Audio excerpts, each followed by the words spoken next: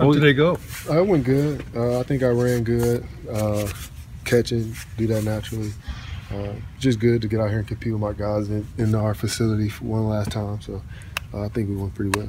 Is it different doing it here then from going back and doing it? Uh, the combine was a little more uh, stress, you could say, but uh, it's just different. You're more comfortable here. That's where I've been for five years. So it's just a comfort thing, and you back with your guys. So Any feedback you get here different from the combine? Uh, no people was impressed with me at the combine. I think they still impressed with me now. Uh, just seeing me running after after my injury and things like that, and seeing me catching and seeing me without my knee braces on and stuff like that. So uh, I think I think uh, they were impressed both. Did you feel like you ran better here than back at the combine? Uh, yes, I A think lot, I, or- I didn't run at the combine, Oh. uh, so I ran here. Uh, I think I ran pretty good. Do you have a goal time for a 40 here? Uh, no, I just ran as fast as I could. I'm a real football player, not a workout guy. So uh, I just run what I run. Uh, you're never going to run a 40 again. A lot of guys in the league kept telling me, like, "Be these your last 40 that you ever gonna run." I didn't ran like a hundred of them through uh, three months. So uh, just to get it over with, because to me personally, that doesn't show football. You can be a fast 40 guy, but uh, you got to have some grit to get on the football field. So Yeah. there's no it's no rollover to me. So I just you- wanted to get out and compete and Yeah. do the best I could, and I did that. So I'm happy. They I give don't you even know time out there? time. Yeah. but Um, Com- Tutar said a four six five, but I don't know.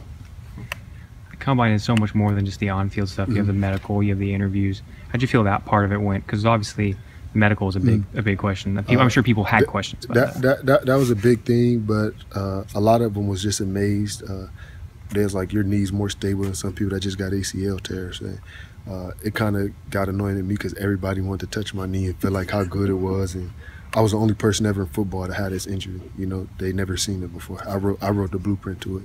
Uh, hopefully that doesn't happen to anybody else, but uh, they never seen it, so everybody wanted to touch it. So really, when it's supposed to be about 60 people pulling on you, I had over 100 people pulling on me because every doctor wanted to touch it. Uh, the interview stuff uh, went, went went great as well. Just hearing stuff from the horse's mouth and uh, being able to have your voice and put my personality on it. A lot of guys only get the five minutes after uh, up in the HDC of you or uh, the, the the the little time after a game and stuff like that. So just being able to be, I was just myself there, honestly. Uh, I think it all went it went great. Did any off-field stuff come up in the uh, interviews? Uh, yeah, a few off-field stuff uh, I just explained. Like I said, they just wanted to hear from the horse's mouth. Uh, some of them just said it what it really was was uh, BS, and uh, just explaining it to them. And uh, I don't think there was any kind of hindering from that. Uh, so with the combine, I answered all the red flags that they had going into it. That was a red flag. The medical was a red flag. But once I answered that and they got the truth to it, uh, it was great. And after another red flag was medical, so position drill. So they wanted to see me run. After they seen that, now they all came here. It was like, man, I want to see him run this 40 and see, you know what I mean, uh, what kind of guy. And I think I ran pretty well. So now it's just building up and start rolling. It's a long process. So I'm just embracing it, really. Yeah. What percent of the uh, interviews do you think the off-field stuff was uh, was touched on?